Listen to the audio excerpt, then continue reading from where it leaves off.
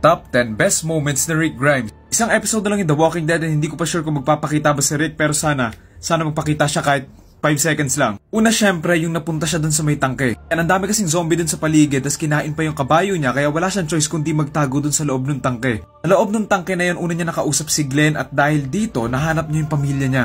Tignan ko pa lang yung picture na to sobrang nostalgic. Napangarap ko i-cosplay yung sheriff costume ni Rick Grimes eh. Sana sa future. Next yung pinatay ni Rick yung leader ng mga cannibal gamit yung isang machete na red yung handle. Sobrang badass ni Rick dito. Ayan yung sinabi niya nung nahuli siya nung una and tinupad niya yung pangako niya. And yan ka-confident si Rick. Satisfying and nakakatawa din kasi talagang yung red machete na pinangako niya, yung ginamit niya. Kasi yung nagkakamping si Rick, si Michonne and si Carl tapos nahuli sila nung mga naging kasama ni Daryl. Ito sa pagkakamali nila, yung tinakot nila si Rick tapos sinaktan pa nila yung anak niya. Ano kasing gagawin doon kay Carl and dahil nga nakita ni Rick, nag-berserk siya. Itong lalaki tinututukan siya ng baril kanina, hinedbat niya tapos kinagat niya yung lalamunan. Ito lalamunan ba to? Basta kinagat niya yan, nag-ala zombie siya. Sa sobrang galit ni Rick, inubos niya lahat sila sa mga brutal na paraan habang nanonood si Carl. Pero sabi ni Carl dito, wala kayo sa tatay ko.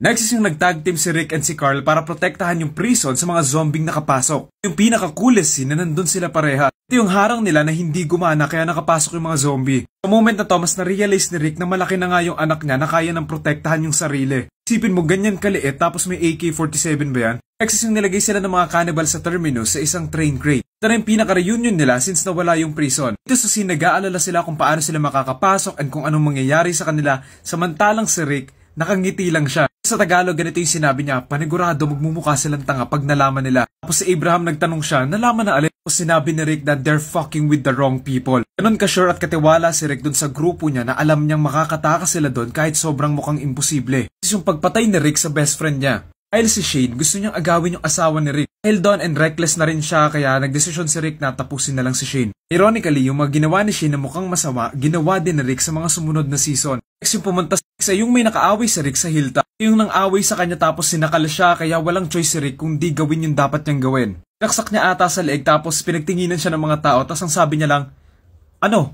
Ito yung version na Rick na dapat hindi nila galitin. So, ulit yung may nakapagsuntukan ulit kay Rick. Ito yung asawa nung naliling sa kanya and binubugbog siya. Knowing version na Rick dito, mas swerte siyang buhay pa siya. Next nung papatayin na sana ni Negan si Carl. Ganito katigas si Rick na lahat ng pinangako niya, gagawin niya. Buti na lang dumating sila Ezekiel and Maggie and niligtas sila. Nakahuli yung pagdating nila Rick, Daryl, Carl, Michonne sa terminus. Ang minuto pa lang pagpasok nila sa terminus, alam na nila agad na may mali. Nabisto siya nila Rick kasi nakita niya yung mga gamit ng mga kasama niya na suot ng mga tao doon. Buti na lang dumating si Carol and diligtas sila. Itong mga cannibal na to na-realize nila na mali pala talaga yung taong kinalaban nila. Yun lang, Rick Grimes.